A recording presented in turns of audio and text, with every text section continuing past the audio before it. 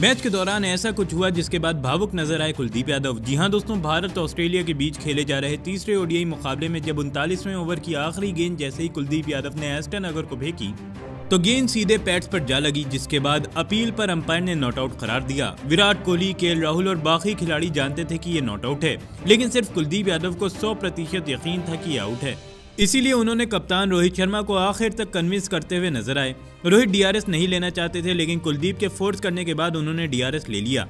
और रिप्ले में साफ़ पता चला कि ये नॉट आउट है, जिसके बाद डीआरएस वेस्ट करने पर रोहित कुलदीप पर भड़क गए। बीच मैदान पर ही रोहित कुलदीप पर चिल्लाने लग गए। विराट भी काफ़ी हैरान दिखे, जिसके बाद कुलदीप वहाँ से चले गए। और जाते वक्त कुलदीप काफ़ी भावुक नज़र आ रहे थे। दोस्तों, आपकी राय में जो रोहित ने कुलदीप के साथ किया, वो सही था या गलत, हमें कमेंट कर ज़रूर बताएँ।